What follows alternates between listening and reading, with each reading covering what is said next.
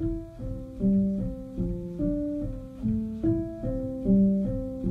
that Abraham Lincoln? What continent? Um, We are the FallCo family.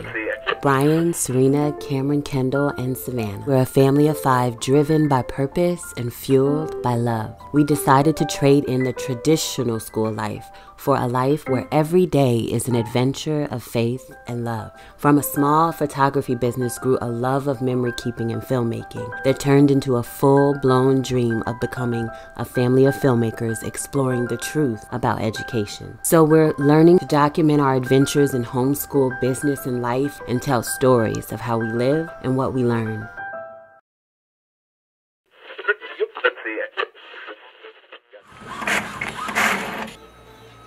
Okay, you say good morning. Tuesday, it's Tuesday. Every day is Tuesday. Tuesday's where we spread our joy and fun. Tuesdays where we spread our joy and fun. Uh-huh. I like that. Let's walk. Grammy wants us to send her Christmas presents. Of course, Grammy would want Yeah. that.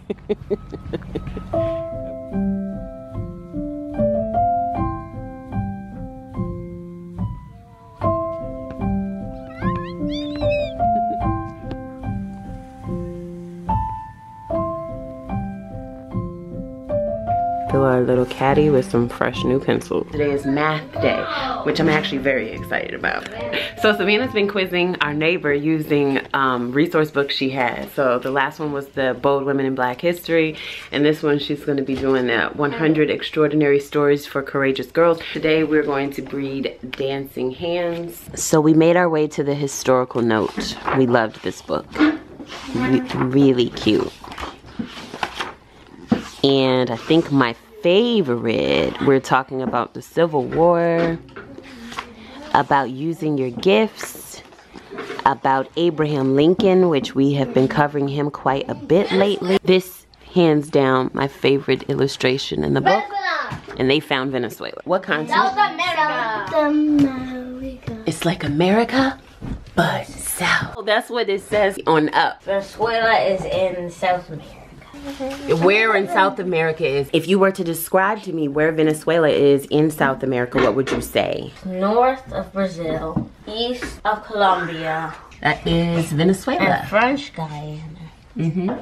So I'm reading the historical note, and first of all, we know that she was from Venezuela, She's an in. An immigrant. Her father was a politician and an amateur pianist who taught her how to play. By the time she was six, she was already composing her own music, and soon she was performing. You know what I think is wonderful about that? I love when we are studying things and the dots get connected.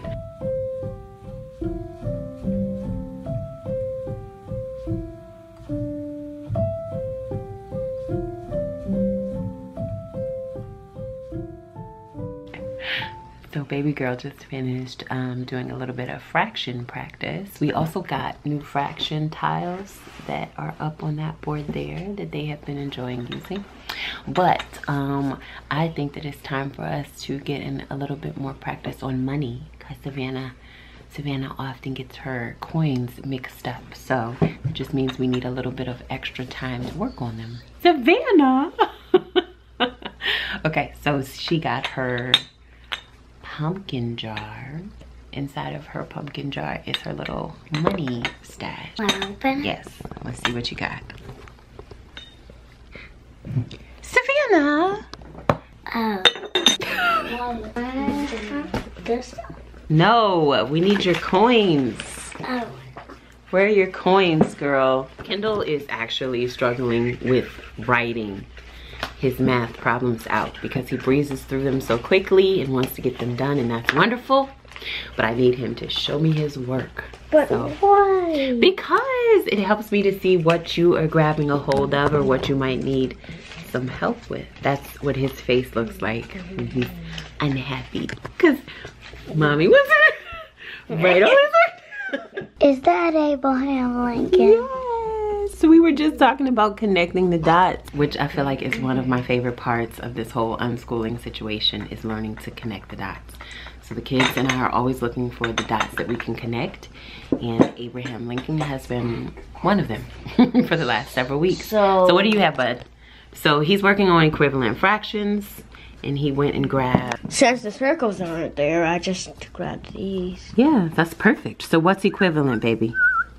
Um, so one half is equivalent to... three six. Said I knew this before I got these. He is using these, which was certainly a win. Oh, wait. One, I think I two. Wait a minute. So we've got coins. I think the most challenging thing about Unschool lately has been that it's so involved, but just requires me to flex my creative skills. So I'm gonna go get my um, coin cards, which should be right here in this little manipulative basket. So, and then I have some big ones that I need to find too. You can have all three of these, and then I have one if you guys have been around for a little while, then you would have um, you would have seen this before. I've used this. We used this with the coins, and now I get to use it with Savannah.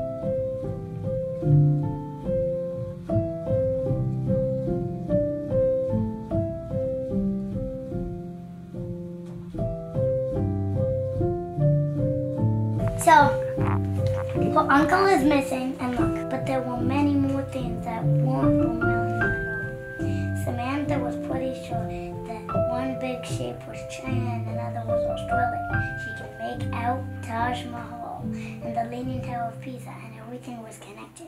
They were and it was running. So she's excited because the uncle left behind a map. it was on the bottom, you know, when you hold an umbrella, Yes.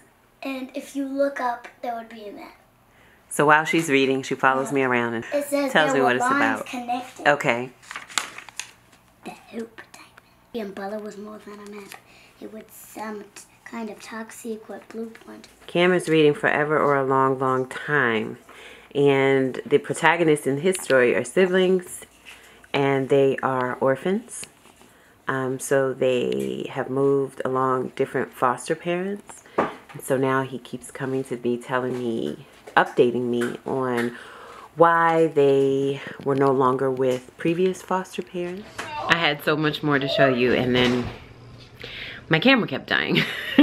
Our school day is all done. According to my watch, it says it's time for me to declutter a little bit.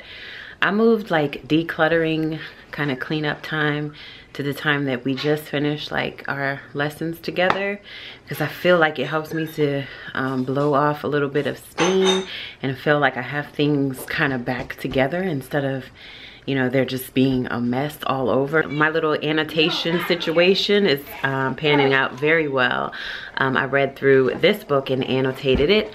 And um, and now Kendall is reading through it and he gets to the little parts that I tag and the notes that I take and we get to talk about it. So that's been working out really well. I updated my printables. I need to say hello to my Patreon fam. It is Taco Tuesday. Brian is still working. The kids went outside for a little bit um, and now I need to switch over to my work hat so I can get a little bit of emails and edits and those type of things accomplished. Um, I did not journal for today, so I want to try and get at least 15 or 20 minutes of that in. Um, and then I need to move on to working out because your girl, it has to happen, okay? I have to give you guys a whole update on my whole health and fitness situation, but it's going well. We've had some ups and some downs, and I'll, I'm gonna show you, I'm gonna tell you all about it. And let me just say that this whole Monday.com situation has been changing my life, okay? It's taken some adjustment um, because everybody on the team likes to work a different way. But uh, just having like a central location for us to be able to log our task and um, be able to chat with each other, especially for communicating with my husband. Like he has his own work to do throughout the day and I have my own things to do with the kids throughout the day and so there's other work that needs to be done um, that we both have separate pockets of time to work on so just being able to like go in and update a task and drop in a few comments is everything right now. So I am currently trying to set up a separate board for homeschool because I have a lot of things that we do in homeschool and things that I want to track and um, take note of. And I think I said this in a video a long time ago, but um, my mom is actually, we call her the keeper of the kids. She's the one that makes sure I stay accountable for being true to our homeschool lives and making sure that um, I'm doing the best I can as homeschool mom. So she uh, keeps track of my planning and my journaling and things like that. I kind of like love it so far, so we'll see how it goes. It's really nice to invest in something that is actually um, making a major difference in your, the flow of your days. One of the things that really threatens to haunt my life is uh, dropping the ball on stuff that I know that I could have accomplished had I just um, managed my time a lot better. So this is like time management 5.0, taking it to a whole different level because we are always doing all the things. So I'm gonna get in some work, then I'm gonna get in some reading, then I'm gonna get in some writing, and hopefully these kids go outside so I don't have to hear all this. Currently listening to Kindness and Wonder. Y'all, come tell these kids to be quiet. Thanks for hanging out with me today. Remember that life is so very full of lessons, so our goal is to live and to learn. Don't forget to subscribe.